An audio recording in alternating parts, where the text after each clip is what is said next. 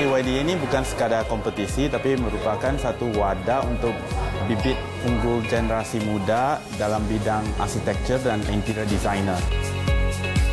Tema kali ini kan adalah forward sustainable. Kompetisi ini ternyata tidak hanya berbicara di level bangunan, tapi di level yang lebih luas lagi, yaitu lingkungan. dapat gold artinya jalan ke Vietnam ini tanggung jawab berat tapi untuk ke sana saya akan berusaha lebih. Harapannya sih tentu bisa membawa nama Indonesia dengan baik sehingga uh, makin memajukan nama Indonesia di kancah internasional.